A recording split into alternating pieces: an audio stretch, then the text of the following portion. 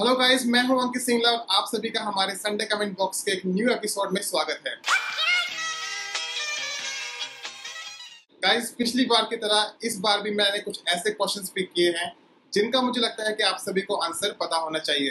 तो वीडियो को शुरू करने से पहले अनाउंस करते हैं हमारी पिछली वीडियो के विनर जिन्हें मिलती है मेरी बुक और एक training call with me absolutely free and the winner is here अगर आपको भी क्वालिफाई होना है तो आप सिर्फ़ कमेंट कर दीजिए और वीडियो को लाइक कर दीजिए। जिसका कमेंट सबसे ज़्यादा अच्छा होगा वैल्यूबल होगा, उसे मैं पिक करूँगा हमारी नेक्स्ट वीडियो के विनर के लिए। तो चलिए वीडियो को शुरू करते हैं।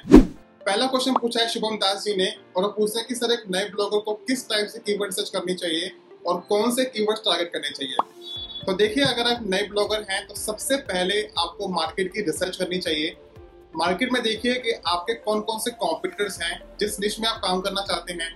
उस निश में कौन कौन सी वेबसाइट्स हैं जो ऑलरेडी काम कर रही हैं? आप उन वेबसाइट्स की लिस्ट बनाइए और उसके बाद हम करते हैं कॉम्पिटिटर्स की कीवर्ड रिसर्च यानी कि जो वो वेबसाइट्स जिन जिन कीवर्ड्स पर रैंक कर रही हैं, हमें वो कीवर्ड्स पाए करने हैं। अगर आपको नहीं पता है कैसे करते हैं तो आप मेरी पिछली वीडियो देख सकते हैं। तो हमें वो कीवर्ड्स निकालने हैं जिन कीवर्ड्स के लिए वो सारी वेबसाइट्स रैंक कर रही हैं। अब उन कीवर्ड्स की लिस्ट निकाल के, सारे कॉम्पिटिटर्स की लिस्ट निकाल के आप एक मास्टर शीट मेंटेन कर सकते हैं जिसमें आपके 500, 1000 या फिर उससे भी ज़्यादा कीवर्ड्स हो सकते हैं। उन कीवर्ड्स में से आपको कीवर्ड्स फ़िल्टर करने हैं अपने साइलो स्ट्रक्चर के बेस पर। साइलो नहीं जानते हैं तो मेरी पिछली वीडियो आप देख सकते हैं। मैं सबसे पहले क्या करता हूँ मैं अपना साइलो स्ट्रक्चर रेडी करता हूँ एक माइंड मैप रेडी करता हूँ फिर कौन से कीवर्ड्स पे मैं अपना पिलर पेज बना सकता हूँ और कौन से कीवर्ड्स पे मैं अपना चाइल्ड आर्टिकल बना सकता हूँ। तो गाइज़ ये है मेरा प्रोसेस एक नए ब्लॉग के लिए कीवर्ड सर्च करने का। और इससे मुझे इस चीज़ में भी हेल्प मिलती है कि मुझे कौन सा कीवर्ड कब टारगेट करना चाहिए। नेक्स्ट क्वेश्चन पूछा है हुसैन चौधरी जी ने, और वो पूछते हैं कि सेकेंडरी कीवर्ड को टारगेट करने के लिए हमें कितने वर्ड्स लिखने चाहिए।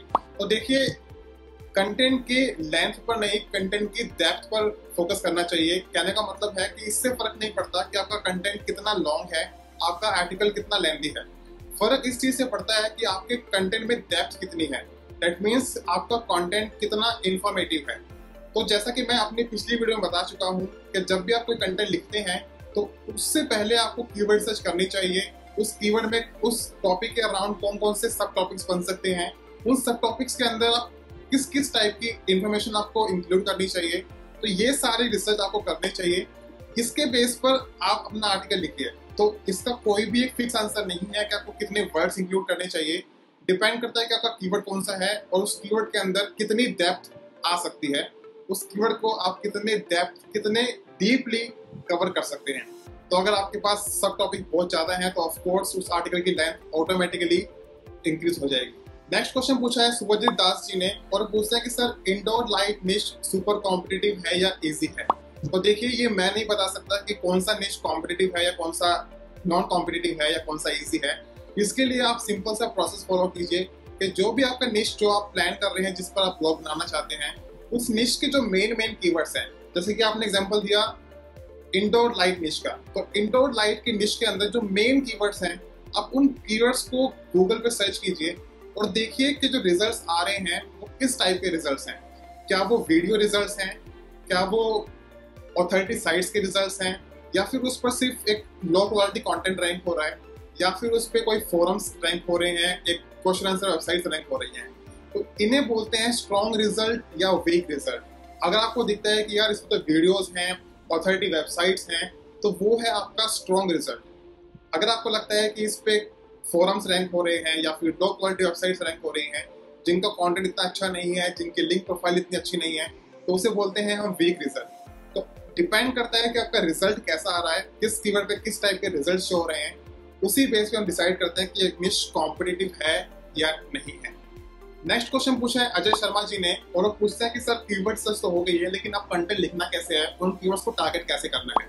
तो देखिए कीवर्ड सर्च करने के बाद जब आपने अपना कीवर्ड चूज़ कर लिया है कि आपको किस कीवर्ड पे कंटेंट लिखना है देन नेक्स्ट स्टेप आपको क्या करना है, उस कीवर्ड को आप गूगल पे सर्च कीजिए और देखिए कि जो टॉप रैंकिंग में जो साइट्स आ रही हैं, उन्होंने अपने कंटेंट के अंदर किस किस टॉपिक को, किस किस सब टॉपिक को कितनी इन्फॉर्मेशन को कवर किया है।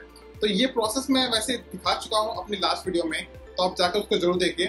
तो करना क्या आपको? वो सब टॉपिक्स सब टॉपिक्स इंफॉर्मेशन वो सब निकालनी है, जो आपके कॉम्पिटिटर्स ने कवर किया है। उसके बेस पे आपको अपने ब्लॉग की आउटलाइन डिज़ाइन करनी है, अपने कंटेंट के लिए आउटलाइन बनानी है कि पहले मेरा इंट्रोडक्शन आएगा, फिर मेरा ये टॉपिक आएगा, फिर मेरा एक सब टॉपिक आएगा। इस सब टॉपिक के अंदर मुझे ये ये पॉइंट्स कवर करने हैं।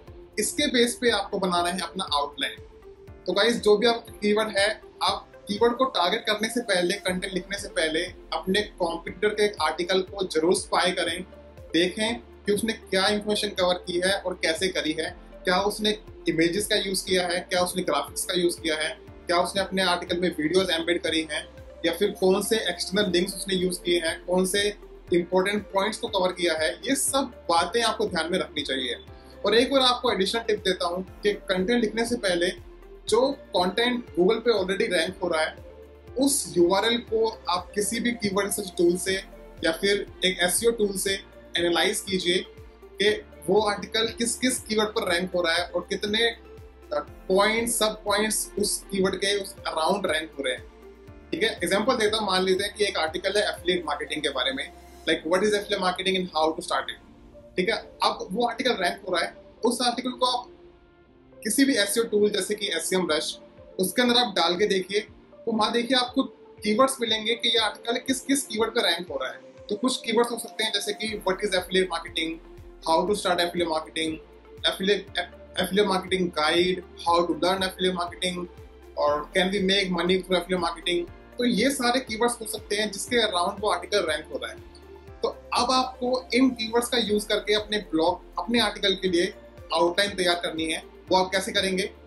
इंट्रोडक्शन फिर आप बताएँगे व्हाट इज़ एफिलिएट मार्केटिंग फिर आप बताएँगे how to start affiliate marketing फिर आप बताएँगे how much money we can make as an affiliate marketer ठीक है, फिर आप बताएँगे कि affiliate marketing tips to increase increase sales इस तरीके से जो भी आपने कीवर्ड्स निकाले थे, अपने कॉम्पिटिटर्स के आर्टिकल को स्पाई करके एनालाइज करके, वो सारे कीवर्ड्स आपको अपने कंटेंट के अंदर यूज़ करने हैं। और सिर्फ़ कीवर्ड्स को स्टफ़ नहीं करना कीवर्ड्स को ज़बरदस्ती भरना नहीं है। जैसा मैंने बताया, आप प्रॉपर आउटलाइन बनाइए और देखिए कि आप किस तरीके से उस टॉपिक को सब टॉपिक को और उस पॉइंट्स को कवर कर सकते हैं। और कंटेंट को और ज़्यादा अच्छा बनाना है तो मेक श्योर sure आप कस्टम डिज़ाइन ग्राफिक्स बनाइए विजुअल्स बनाइए डायग्राम्स बनाइए। उसके लिए आप टूल का यूज़ कर सकते हैं कैनवा और एक और टूल है विजमी ये मेरे फेवरेट टूल्स हैं। इनका आप यूज़ कर सकते हैं अपने आर्टिकल्स के लिए ग्राफिक्स को बनाने के लिए। तो आई होप ये आपको समझ में आया कि किस तरीके से आपको कीवर्ड्स को टारगेट करना चाहिए। फिर भी कोई डाउट है, आप नीचे कमेंट कर सकते हैं। नेक्स्ट क्वेश्चन पूछा है क्लिक लिंक जी ने, और ये पूछते हैं कि अंकित भाई मेरा 1000 वर्ड्स का आर्टिकल है तो मुझे अपना मेन कीवर्ड और सब कीवर्ड्स कितनी बार यूज़ करने चाहिए? तो देखिए, मैं अगर पर्सनली अपनी बात करूँ तो मैं मेन कीवर्ड को बहुत ही कम यूज़ करता हूँ। जैसा कि आप आइडिया ले सकते हैं कि एक, दो, तीन बार ही यूज़ करता हूँ। तो गेम यहाँ पर ये नहीं है कि आपको मेन कीवर्ड कितनी बार स्टफ़ करना है। इस चीज़ से फ़र्क नहीं पड़ता। फ़र्क इस चीज़ से पड़ता है कि आपने अपने कंटेंट के अंदर कौन कौन से कीवर्ड्स या फिर मैं बोलूँ एल एस आई कीवर्ड्स या मैं बोलूँ वर्ड्स यूज़ किए हैं, जैसा कि मैं पिछली वीडियो में कई बार दिखा चुका हूँ, उन वर्ड्स के बेस पर डिसाइड होता है कि आपका कंटेंट की जो टॉपिक है, वो क्या है। अगर आपने गूगल को वो टॉपिक समझने में हेल्प कर दी, देखिए मेरा ये टॉपिक है, आपने उसके अराउंड सारे वो relevant words keywords LSI words use किए हैं तो आपका आर्टिकल हमेशा बेटर रैंकिंग पे रैंक होगा बेटर पोजीशन पे रैंक होगा। ठीक है तो इस चीज़ से कंफ्यूज मत होइए कि आपको मेन कीवर्ड ही बार बार यूज़ करना है। मान लेते हैं एग्जांपल देता हूँ कि मेरा कीवर्ड है फिटनेस ट्रैकर फॉर वुमेन ठीक है, या फिटनेस ट्रैकर फॉर किड्स तो अब यहाँ पे आपको अगर फिटनेस ट्रैकर फॉर किड्स इस आर्टिकल कीवर्ड पर रैंक करवाना है? तो फिटनेस ट्रैकर फॉर किड्स यही कीवर्ड आपको बार बार बार बार यूज़ नहीं करना। ठीक है, अगर आपके आर्टिकल में एक दो बार भी कीवर्ड आया है, तब भी सफिशियंट है। इसके लिए हमें स्टफिंग नहीं करनी है। पहले एक रूल था कि से बोलते थे कीवर्ड डेंसिटी क्या कीवर्ड डेंसिटी तो पहले आई गेस पाँच छह साल पहले हम लेके चलते थे दो से तीन परसेंट कीवर्ड डेंसिटी ठीक है, लेकिन अभी अगर आप वन परसेंट भी नहीं यूज़ कर रहे तब भी चलेगा। मैं रिकमेंड करूँगा कि आप ज़ीरो पॉइंट फाइव लेके चलिए। ठीक है ज़ीरो पॉइंट फाइव परसेंट आपका कीवर्ड यूज़ होना चाहिए आपके आर्टिकल में। ठीक है, क्योंकि मैं मेन कीवर्ड की बजाय मैं फोकस करता हूँ सेकेंडरी वर्ड्स पे या फिर एल एस आई कीवर्ड्स पे, या फिर ऐसे वर्ड्स पे जो मेरे आर्टिकल के टॉपिक को एक्सप्लेन करने में मेरी हेल्प करे। ठीक है? एग्ज़ाम्पल वापस चलते हैं। फिटनेस ट्रैकर फॉर किड्स अब देखिए फिटनेस ट्रैकर के अराउंड कौन कौन से वर्ड्स हो सकते हैं? जैसे कि मैंने बोला था हेल्थ ठीक है? एक्सरसाइज ठीक है? स्लीप और हार्ट रेट ठीक है? और किड्स हैं तो किड्स के अराउंड क्या क्या हो सकते हैं? जैसे कि चिल्ड्रन ठीक है? चाइल्ड या फिर आप एज ग्रुप की बात कर सकते हैं। तो ये जो टॉपिक्स हैं जो छोटे छोटे वर्ड्स हैं। इन वर्ड्स का आपको यूज़ करना चाहिए। इसके बेस पे आपके आर्टिकल की रैंकिंग काफ़ी हद तक इम्प्रूव होती है। तो ठीक है भाई, आप ये माइंड से निकाल दीजिए कि कीवर्ड आप कितनी बार मेन कीवर्ड यूज़ करें, आप कितनी बार सब कीवर्ड्स यूज़ करें। सब कीवर्ड जो होते हैं, या फिर मैं बोलूँ कि जो सिंगल वर्ड्स हैं, जैसे मैंने एग्जांपल दिया हार्ट रेट फिटनेस और हेल्थ स्वेट स्लीप ये जो वर्ड्स हैं, जो आपके मेन टॉपिक के अराउंड है, जो रिलेवेंट वर्ड्स हैं, इन वर्ड्स की कोई लिमिट नहीं होती। इन वर्ड्स को आप जितना चाहें, उतने सारे यूज़ कर सकते हैं। जितना चाहें, मैं बोल रहा हूँ जितना चाहें, इसकी कोई लिमिट नहीं है कि आपको कितनी बार डालना है। क्योंकि ये सारे वर्ड्स यूनिक हैं, आप इन वर्ड्स को एक या दो बार ही यूज़ करेंगे अपने आर्टिकल में तो आप जितने ज़्यादा इन वर्ड्स का यूज़ करेंगे, जो आपके टॉपिक से रिलेवेंट है। नहीं जानते हो कैसे फाइंड करते हैं, मेरी पिछली वीडियोस आप देख सकते हैं, मैंने पूरा डिटेल में समझाया था। कि मैं ये ये वर्ड्स कैसे फाइंड कर हूँ? तो इन वर्ड्स का आप जितना ज़्यादा यूज़ करेंगे, कोई लिमिट नहीं है। मल्टीपल आप बहुत सारे यूज़ कर सकते हैं। और इसी के बेस पे आपके कंटेंट को डायरेक्शन मिलेगी कि कंटेंट के अंदर कौन सी इन्फॉर्मेशन आपको इंक्लूड करनी चाहिए और कौन सी नहीं करनी चाहिए। तो आई होप ये पॉइंट आपको अच्छे से समझ में आया होगा कि कीवर्ड्स किस तरीके से यूज़ करते हैं। नेक्स्ट क्वेश्चन पूछा है सूर्यकांत साहू जी ने और वो पूछते हैं कि अपने आर्टिकल को किस तरीके से अपडेट करना चाहिए? कि दो तीन महीने बाद उसको अपडेट करें तो रैंकिंग इम्प्रूव हो या रैंकिंग मेंटेन रहे। तो देखिए टाइम के साथ ऑफ़ कोर्स आपको आर्टिकल इम्प्रूव करने चाहिए अपडेट करने चाहिए, लेकिन किस तरीके से करने चाहिए, उसका सोल्यूशन क्या है? कि जो भी आपका मेन कीवर्ड है, आप देखिए उस कीवर्ड के अराउंड कौन कौन से आर्टिकल रैंक कर रहे हैं। आप देखेंगे कि आपने आर्टिकल अगर दो महीने पहले पब्लिश किया था तो हो सकता है उस टाइम पे कोई दूसरी वेबसाइट रैंक कर रही होगी। लेकिन अब जब आप उस आर्टिकल को अपडेट करने वाले हैं, तब आप फिर से चेक कीजिए कि कोई नई वेबसाइट तो रैंक नहीं कर रही। या फिर जो टॉप पर वेबसाइट रैंक कर रही है, उनकी आप लिस्ट बनाइए। दो तीन आर्टिकल आप देख सकते हैं कि कौन से आर्टिकल अच्छे परफॉर्म कर रहे हैं। उन आर्टिकल्स के आप कीवर्ड देखिए या फिर कंटेंट स्टडी कीजिए कि उन्होंने किस टाइप से कंटेंट को लिखा है और कौन कौन सी इंफॉर्मेशन कवर की है। मैं अगेन अपने उसी पॉइंट पे वापस आऊँगा कि अगर आप उन आर्टिकल्स को स्पाई करेंगे, किसी भी ऐसे टूल का यूज़ करके तो वो सारे कीवर्ड्स आपको मिल जाएँगे जिस कीवर्ड पे, जिन कीवर्ड्स पे वो आर्टिकल रैंक हो रहा है। कई बार ऐसा होता है कि एक आर्टिकल एक दो कीवर्ड पे रैंक करता है, लेकिन बहुत बार ऐसा होता है कि एक अच्छे आर्टिकल्स जो फ़र्स्ट पोजीशन पर रैंक करते हैं, वो एक से ज़्यादा कीवर्ड्स पर रैंक करते हैं मल्टीपल कीवर्ड्स पर रैंक करते हैं। वो कीवर्ड्स सारे कीवर्ड्स अलग नहीं होते। कहने का मतलब है, मान लेते हैं कीवर्ड है एफिलिएट मार्केटिंग तो एक आर्टिकल एफिलिएट मार्केटिंग कीवर्ड पर रैंक कर रहा है तो ऐसा नहीं है कि वो सेकंड कीवर्ड है फिटनेस ट्रैकर तो उस पर भी रैंक कर जाएगा। ऐसा नहीं है। कहने का मतलब है वेरिएशंस होते हैं एक कीवर्ड के। जैसे कि affiliate marketing what is affiliate marketing how to start affiliate marketing, affiliate marketing guide, affiliate marketing tutorial, affiliate marketing video, affiliate marketing training, affiliate marketing course. ये एक ही कीवर्ड के अराउंड जो कीवर्ड्स होते हैं। बहुत बार एक चांसेस ऐसे होते हैं कि एक जो टॉप परफॉर्मिंग आर्टिकल है अगर वो डिटेल्ड कंटेंट है लॉन्ग अच्छा आर्टिकल है तो वो एक से ज़्यादा कीवर्ड्स पर रैंक कर रहा होगा। तो हमें वो कीवर्ड्स सारे कीवर्ड्स निकालने हैं। इसके लिए आप एस टूल का यूज़ कर सकते हैं। मेरा फेवरेट एस रश है। अकाउंट चाहिए आपको थर्टी डेज़ का ट्रायल लिंक चाहिए तो स्क्रीन पे लिंक आ जाएगा। आप उस लिंक पे जाके थर्टी डेज़ के लिए साइन अप कर सकते हैं। फ्री में टूल को यूज़ कीजिए और वो सारे कीवर्ड्स निकाल लीजिए अपने कॉम्पिटिटर के आर्टिकल से, जिन कीवर्ड्स पे वो रैंक कर रहा है। और उन कीवर्ड्स के बेस पे आप देखिए कि क्या आपने आर्टिकल में वो सारे सब टॉपिक्स कवर किए हैं। अगर वो आर्टिकल रैंक कर रहा था एफिलिएट मार्केटिंग कोर्सेज पे, ठीक है, या फिर एफिलिएट मार्केटिंग टिप्स के ऊपर how to increase affiliate sales तो क्या आपके आर्टिकल में आपने वो टिप्स दी हैं? क्या आपके आर्टिकल में आपने कोर्सेज की बात करी है? क्या आपके आर्टिकल में आपने वीडियो एम्बेड करी है? यहाँ से आपको समझ में आएगा कि यार तो टू थ्री आर्टिकल जो रैंक कर रहे हैं, उन सभी में एक कॉमन पैटर्न है। उन सभी ने ग्राफिक्स का यूज़ किया है, उन सभी ने वीडियोस का यूज़ किया है, उन सभी ने एडिशनल टिप्स दी हैं। तो यहाँ से आपको एक पैटर्न समझ में आएगा कि हम किस चीज़ की कमी है आपके आर्टिकल में। उस बेस पे आपको अपना आर्टिकल अपडेट करना है। ठीक है? सेकंड चीज़ जो आपको करनी चाहिए, आप अपने खुद के आर्टिकल को एनालाइज कीजिए एस टूल से और देखिए कि आपका आर्टिकल किस किस कीवर्ड पर रैंक कर रहा है। जिस कीवर्ड पे आपका आर्टिकल रैंक कर रहा है, उस कीवर्ड के अराउंड आपको डिटेल्ड स्टडी करनी है डिटेल रिसर्च करनी है कि इसके अराउंड कौन कौन से टॉपिक्स हैं। मेरी पिछली वीडियो में एग्ज़ाम्पल दिया था आई क्या मैट्रिक्स का। तो मान लेते हैं आई क्या मैट्रिक्स कवर आपका एक सब टॉपिक है। तो उसके आप रिसर्च कीजिए कि इसके अंदर और कौन कौन से टॉपिक्स हैं और कौन कौन सी इंफॉर्मेशन है जो लोग सर्च कर रहे हैं। जैसे कि कैन बी वॉश आई के मैट्रेस कवर्स आई के मैट्रेस कवर साइजेस आई के mattress single bed versus double bed cover ये आपके एक कीवर्ड के अंदर जो कीवर्ड्स हैं, वो सारे कीवर्ड्स की मैं बात कर रहा हूँ। तो जब आप अपना आर्टिकल अपडेट कर रहे हैं तो आप इन सारे सब कीवर्ड्स की भी बात कर सकते हैं। इनके बेस पे आप अपने एग्जिस्टिंग आर्टिकल को जो रैंक हो रहा है, मैं बात कर रहा हूँ, वो आर्टिकल जो ऑलरेडी रैंक हो रहा है, अब उसको कैसे इम्प्रूव करेंगे?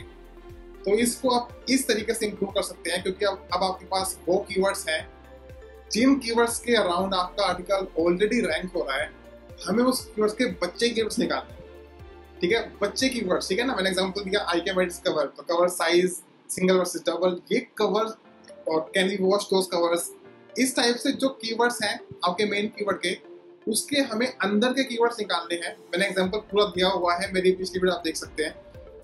वो कीवर्ड्स आप निकालिए, उन कीवर्ड्स को, उन कीवर्ड्स के बेस पे अपने आर्टिकल को अपडेट कीजिए, और गारंटीड है, क्योंकि आपने क्वालिटी इंप्रूव करी है। क्वालिटी गिराई नहीं है क्वालिटी इंप्रूव करी है। अच्छे आर्टिकल को और अच्छा बनाया है डिटेल बनाया है तो आपकी रैंकिंग इम्प्रूव होगी।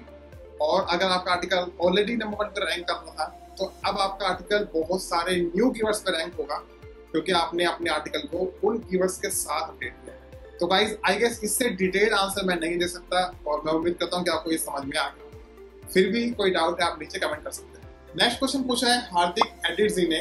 वो बोलते हैं, आपको एडसेंस अप्रूवल नहीं मिला है क्या? आपके ब्लॉग में कोई एड ही नहीं है। तो गाइज़ अगर आपका भी ये सवाल है कि मेरे ब्लॉग पे एड्स क्यों नहीं आए, या फिर मैं अर्निंग कैसे करता हूँ तो इसका रीजन ये है, मैं गूगल एडसेंस यूज़ नहीं करता हूँ अपने ब्लॉग पर, या फिर कोई भी एड प्लेटफॉर्म मैं यूज़ नहीं करता हूँ। मैं अपने ब्लॉग को मोनेटाइज करता हूँ एफिलिएट मार्केटिंग के थ्रू एफिलिएट लिंक्स का यूज़ करके। तो एफिलिएट लिंक्स का सबसे बड़ा बेनिफिट यही है कि आपके ब्लॉग पे कोई एड ही नहीं होती, और आपका कंटेंट बिल्कुल क्लीन आपका ब्लॉग बिल्कुल क्लीन अच्छा लगता है। जिससे आपके ब्लॉग का ट्रस्ट फैक्टर इंक्रीज होता है, आपकी ऑडियंस आपके ब्लॉग पर ट्रस्ट करती है। तो एफिलिएट मार्केटिंग का सबसे बड़ा बड़ा बेनिफिट यही है कि आपको एड्स पर डिपेंड नहीं रहना पड़ता। और एड्स के कंपैरिजन में आप बहुत ज़्यादा अर्न कर सकते हैं बिकॉज़ एग्जांपल देते हैं, मान लेते हैं मैंने आर्टिकल लिखा हुआ है बेस्ट वेब होस्टिंग ठीक है? Best web hosting for bloggers या best web hosting in India मैंने कीवर्ड पे एक आर्टिकल लिखा हुआ है, ठीक है? अगर आप गूगल एसेंस यूज़ करेंगे तो हो सकता है कि जो एड्स आए, वो वेब होस्टिंग के ही आए। ब्लू होस्ट साइट ग्राउंड या ए टू होस्टिंग जो भी वेब होस्टिंग सर्विसेज़ हैं, उनकी एड आनी शुरू हो जाएँगी। और जो मेरे रीडर्स हैं, उन एड पे क्लिक करके ऑफिशियल वेबसाइट पे चले जाएँगे। तो उस क्लिक का मुझे मिलेगा, मान लेते हैं, पचास पैसे, एक रुपया या ज़्यादा से ज़्यादा पाँच रुपये दस रुपये चलो, बहुत ज़्यादा से ज़्यादा सौ रुपये ठीक है, मुझे एक क्लिक का सौ रुपये मिल गया। वैसे मिलता नहीं है, फिर भी पूरा बिल्कुल मैक्सिमम लेके चल रहा है कि चलो सौ रुपये मिल गए। अब वो सौ रुपये अच्छे हैं, या फिर आपने एफिलेट लिंक लगा रखा है और उस लिंक पे क्लिक करके कोई होस्टिंग परचेज कर रहा है और उस सेल का आपको मिनिमम आपको सेल को मिल सकता है फिफ्टी डॉलर्स तो वो हंड्रेड रुपीज़ ज़्यादा अच्छे हैं या वो फिफ्टी डॉलर ज़्यादा अच्छे हैं? ठीक है, और अगर आप सेल्स इंक्रीज भी करते हैं तो वो फिफ्टी से आप हंड्रेड डॉलर्स भी ले सकते हैं। हंड्रेड से ज़्यादा ही मिलते हैं। तो हंड्रेड रुपीज़ या फिर हंड्रेड डॉलर्स ये आपको डिसाइड करना है, ठीक है? ये पावर है एफिलेट मार्केटिंग की, इसलिए मैं अपने ब्लॉग पे गूगल एडसेंस यूज़ नहीं करता। लेकिन एफिलिएट मार्केटिंग आप हर टाइप के ब्लॉग्स पे नहीं लगा सकते एफिलेट लिंक्स वहीं लगा सकते हैं जहाँ पे आप कुछ सेल कर सकते हैं। तो जैसा कि मैं, मैंने अपनी ब्लॉगिंग स्टार्ट करी थी शायरी ब्लॉग से तो शायरी जो पढ़ने वाला आया है, वो कुछ खरीदेगा तो है नहीं मुझसे। तो वहाँ पे मैं अपना एफिलेट लिंक्स यूज़ नहीं कर सकता ऑफ़ कोर्स तो उस टाइम मैं यूज़ करता था गूगल एडसेंस लेकिन अब क्योंकि मेरी ऑडियंस ऐसी है जहाँ पे मैं कुछ सेल कर सकता हूँ तो वहाँ पे गूगल एडसेंस यूज़ नहीं करता हूँ, इसलिए मैं एफिलिएट लिंक्स का यूज़ करता हूँ। तो अगर आपको भी ये डाउट था कि भाई कैसे अर्निंग होती है बिना एडसेंस के तो आप एफिलिएट मार्केटिंग का यूज़ कर सकते हैं। और मेरा number one source income source है एफिलिएट मार्केटिंग मेरी वीडियो आप देख सकते हैं, मेरी ब्लॉगिंग अर्निंग प्रूफ अगर आपने नहीं देखी है, उसका लिंक मैं दे दूँगा। तो आप वो जाके ज़रूर देखिए जहाँ मैंने दिखाया कि मैं एफिलिएट मार्केटिंग से अर्निंग कैसे करता हूँ। आज का लास्ट कमेंट है विक्की वर्षले जी की तरफ़ से, और उनका कहना है कि अगर उन्हें मेरी बुक मिल जाए तो मज़ा ही आ जाएगा। तो गाइज़ देखिए, बहुत, मुझे बहुत सारे कमेंट्स मिलते हैं जो लिखते हैं कि आई वॉन्ट योर बुक या फिर मुझे भी बुक विन करनी है। आपको पता है कि मैं अपनी हर वीडियो में एक, किसी एक बंदे को अपनी बुक फ्री में देता हूँ। तो मुझे बहुत सारे कमेंट्स मिलते हैं कि ये बुक मुझे मिल जाए। तो गाइस देखिए, पहली बात तो मैं, ये बुक मेरी पेड बुक है। इस बुक को मैं ऑलरेडी थाउज़ेंड प्लस लोगों को सेल कर चुका हूँ, वो इस बुक के लिए पे कर चुके हैं तो अगर मैं ये बुक अब मैं फ्री में बांटना शुरू कर दूँ तो वो मुझे बहुत मारेंगे। ठीक है, मेरी बहुत पिटाई होने वाली है अगर मैंने बुक अब मैंने फ्री कर दी तो। क्योंकि ऑलरेडी इतने सारे लोग पे कर चुके हैं, वो जस्टिस नहीं होगा उनके साथ। इसलिए मैं इस बुक को सभी को फ्री ना देके, मैं हर वीडियो में कोशिश करता हूँ कि किसी एक बंदे को अपनी बुक मैं फ्री में दूँ। तो अगर आप चाहते हैं कि आपके चांसेस इंक्रीज हो, मेरी बुक पाने के, या फिर आपको मैं सिलेक्ट करूँ अपने विनर के लिए तो मैं बता दूँ कि आपको सिर्फ़ एक कमेंट करना होता है मेरी न्यू वीडियोस पे। लेकिन गाइस कमेंट कैसे करें कि मैं आपको पिक करूँ? आपके कमेंट को पिक करूँ? तो उसके लिए देखिए, आपको पॉजिटिव कमेंट करने की ज़रूरत नहीं है, आपको, या फिर आपको मुझे अप्रिशिएट करने की ज़रूरत नहीं है, आपको थैंक यू लिखने की ज़रूरत नहीं है। मैं नहीं चाहता कि आप मुझे थैंक यू बोलिए। ठीक है, मैं सिर्फ़ ऐसे कमेंट्स को पिक करता हूँ जिन कमेंट्स में या तो अच्छे क्वेश्चन पूछे गए हों, या फिर कुछ वैल्यू एडिशन हो उस वीडियो में। आपके कमेंट में अगर कोई वैल्यू एडिशन है, आपने कुछ एडिशनल टिप शेयर करी है, कोई मेथड शेयर किया है, ऐसे कमेंट्स जो बाकी कमेंट्स से अच्छे हों वैल्यू एडिशन करें, या फिर कोई अच्छे क्वेश्चन पूछे गए हों, उन्हीं क्वेश्चंस को, उन्हीं कमेंट्स को मैं पिक करता हूँ अपने विनर्स के लिए। ठीक है? तो प्लीज़ आप, अगर आप चाहते हैं कि आप मेरी बुक को या फिर ट्रेनिंग कॉल का विन करें तो उसके लिए आपको थैंक यू या फिर वन लाइनर कमेंट्स नहीं करने। या फिर कोई ज़रूरत नहीं है, आप मुझे थैंक यू बोले या कुछ करें। आप सिंपली एक अच्छा कमेंट करिए, जिससे मुझे हेल्प मिलेगी आपके कमेंट को पिक करने में। तो गाइज़ आई होप कि आपको ये सारे क्वेश्चन अच्छे लगे होंगे जो मैंने पिक किए। आपको आंसर्स अच्छे लगे होंगे, कुछ वैल्यू मिली होगी। और नेक्स्ट संडे कमेंट के लिए आप इस वीडियो पे कमेंट कर सकते हैं। जो भी कमेंट्स इस वीडियो पे आएँगे मैं उन्हीं कमेंट्स में से पिक करूँगा अपने नेक्स्ट संडे कमेंट बॉक्स के लिए। तो गाइज़ ये थी आज की वीडियो अगर आपको वीडियो अच्छी लगी तो वीडियो को लाइक एंड कमेंट करके मुझे बता सकते हैं। और वीडियो के डिस्क्रिप्शन में हमारे टेलीग्राम चैनल का लिंक है जिसे आप ज़रूर ज्वाइन कीजिए, जहाँ पे मैं एडिशनल ब्लॉगिंग के टिप्स शेयर करता रहता हूँ। तो मैं मिलता हूँ आपसे अपनी अगली वीडियो में। तब तक के लिए टेक केयर